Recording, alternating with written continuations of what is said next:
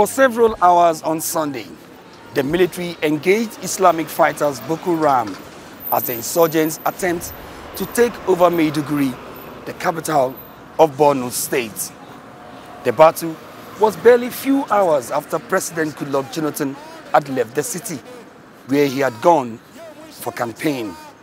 But the latest attack raises concern whether or not Nigeria can conduct elections in the northeast. I can have a, a, an election. So we cannot truncate uh, this uh, process because some few senatorial uh, districts are affected by Boko Haram. Election must go on.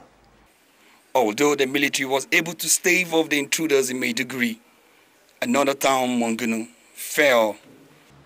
It's barely two weeks to elections and attacks by Boko Haram have remained relentless, increasing casualty figures and leaving hundreds of others in a flight from terror.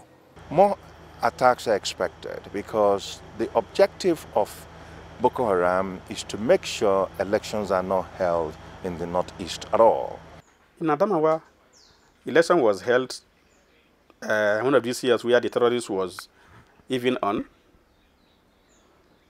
So it is only those there are some local government that I will say I will, will be endowed to hold election, but not the whole state. The electoral body INEC has repeatedly said it will go on with the elections.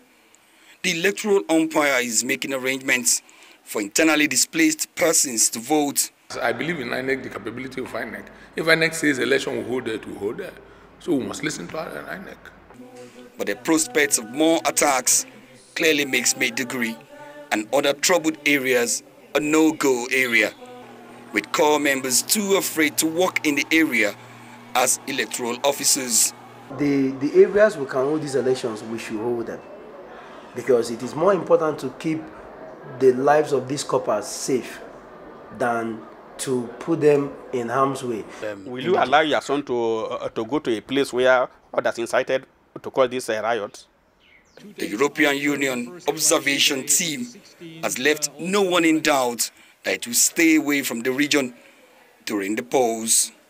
We are not in the northeast geopolitical zone, and the security conditions are such that we cannot undertake our long-term observation methodology in these states.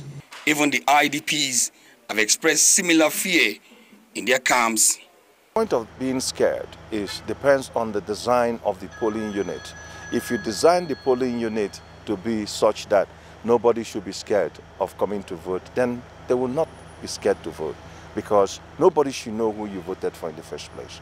If you block those who are voting from those who are watching them vote, then nobody knows who you voted for. And INEC should take note of that. It's a tough situation for Nigeria, and surely all eyes will be in the northeast as the country goes into elections. Omor Bazuaye, AIT News, Abuja.